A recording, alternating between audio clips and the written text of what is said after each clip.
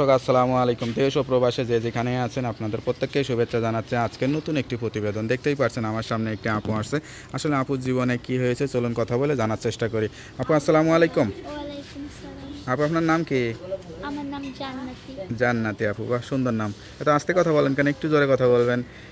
আপনার বাড়ি আচ্ছা আস্তে কথা বলেন। আপনার বাড়ি কোথায়? নরসিংদী। পরিবারে কে কে আছে?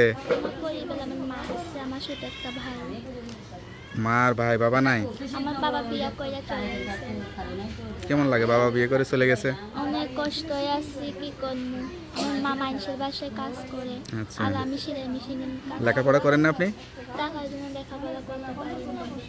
একটু করেন নাই? একটু করছিলাম আর করিনি। নাকি ভালো লাগে না লেখাপড়া করতে? লেখাপড়া করতে তো ভালোই লাগে আর কি করতে ভালো লাগে? আর কি মনের মতন একটা। মনের মতো একটা জীবন সঙ্গী দরকার নাকি? মনে কষ্ট পুরো প্রতিবেদনের সামনে বয়স কত? আমার বয়স আঠারো। আঠারো হয়ে গেছে? এখন বিয়ে করার বয়স তাই না? বিয়ে করতে চান নাকি আগে প্রেম টেম করতে চান বিয়ের কথা শুনলে ভয় ভয় লাগে না? স্বামী সংসারে যাবেন কত কাজ কাম কত তো ঝামেলাও তো যেটা আমার পাশে দাঁড়াইব কাজ একটা মানুষ এসে দেখতে যাইব কোন হোক। যেটা আমার পাশে থাকবে সারা জীবন সেরকম আমি হয়তো অনেক কষ্ট করে পড়লে আমার বাবার একটা বিয়ে করে চলে আমার মাটা বুড়ো মানুষ মানুষের বাসায় কাজ করতে পারে না। আর আমি মাসের বাসায় সেলাই মেশিনের কাজ করি।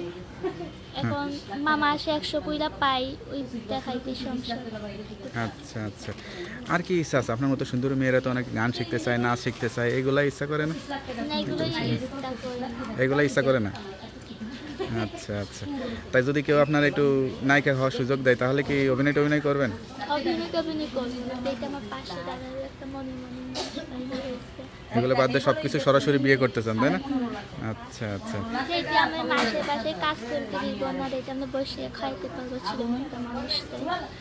স্বামীর সংসার তো নিজের সংসার ওটা তো স্বামীর হবে না আপনারও হবে তাই না? স্বামী তো আপনার একটা মেয়ে মানুষের জীবনে তো মানে কি যে মেয়ে সেই বোঝে স্বামী হলো সবচেয়ে মেয়ে মানুষের জীবনে একটা অলংকার স্বরূপ আর কি ঠিক আছে? এই স্বামী যেমনই হোক তাকে কষ্ট দিবেন না তার সঙ্গে ঝগড়া করবেন না। মিলেমিশে সংসার করার চেষ্টা করবেন। ঠিক আছে? সেরকমই চান। নামাজ কালাম পড়েন? হ্যাঁ যাক নামাজ কালাম পড়েন। আল্লাহর কাছে কি দোয়া করেন? যেটা আমার কষ্টের সময় আমার পাশে দাঁড়াইবে আচ্ছা আচ্ছা। গান টান গান টান জানেন নাকি? না, আমি গান টান জানি না। আপনার কণ্ঠ তো সুন্দর মনে হচ্ছে গান টান শিখলেও তো ভালো করতে পারতেন। আমি গান টান করি না। করেন না তো?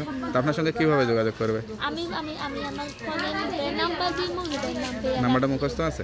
না। হ্যালো বিয়ার শুনতে পারলেন এক অসহায় গরিব ঘরের মেয়ের জীবনের গল্প। তার কথা শুনে বুঝতে পারলেন কতটা অসহায়। কেউ যদি সত্যিকারের অর্থে তার কথা শুনে যোগাযোগ করতে চান বা বিয়ে করতে চান অবশ্যই এই নাম্বারে যোগাযোগ করবেন। তার নাম্বারটি হচ্ছে zero one three two three double six nine four six one নাম্বারটা খোলা থাকে তো? এই ফোন আমার খোলা থাকে। যাই নাম্বারটা খোলা রাখবেন আর এই যে যতক্ষণ এটা- এই যে এটা আমার নাম্বার তুমি ধরে ফোন দিলে আমি পাই। সেটাই।